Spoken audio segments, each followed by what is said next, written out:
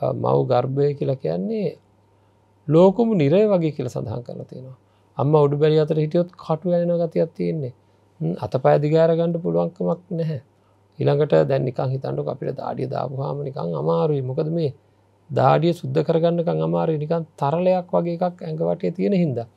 හිතන්ටක පල්වෙච්ච කුණුවෙච්ච අර වලවල් තියෙන්නේ නිකං මේ පල් අතුර තියෙන නිකන් සෙවල සෙවල වගේ තියෙන ටිකක් ගණකම වැඩි වෙලා තියෙන. එහෙම එහෙම කුණු වතුර තියෙන වලකට බැහැගණ්ඩ වුණොත් අන්න ඒ වගේ තමයි මේ මවුට නිග්‍රහ කරනවා නෙවේම මේ තමයි ගර්භාසයේ ස්වභාවය. එහි තියෙන්නේ දුගන්ධ ඉතා අප්‍රසන්න සෙවල රස්නය තියෙන ගඳ තියෙන තරලයක්. එවැනි තරලයක තමයි බැසගෙන ඉන්නේ.